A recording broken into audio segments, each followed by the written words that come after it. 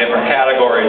They fall into meat breeds of sheep, wool breeds of sheep, and hair breeds of sheep. Give me an example of each individual one, and I think most of you got the meat breeds, of Suffolk, Hampshires, uh, Schwabs, all of those are meat breeds. Uh, when you get into the uh, the wool breeds, well, Romney, a Lincoln, a Corriedale, you could come up with anything.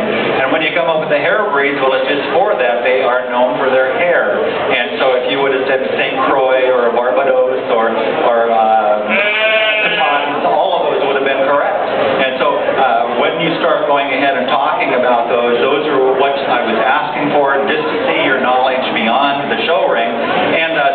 hit it right on, and some of you struggled a little bit, but that's part of it, and that's what you're learning for. But congratulations. I'll go out and select your reserve champion, and the reserve champion I had more difficulty with than my champion. I had uh, two or three of you that kept a fighting back and forth for reserve, but at this time, I'll go out and select your reserve champion showman at this year's Benton County Fair.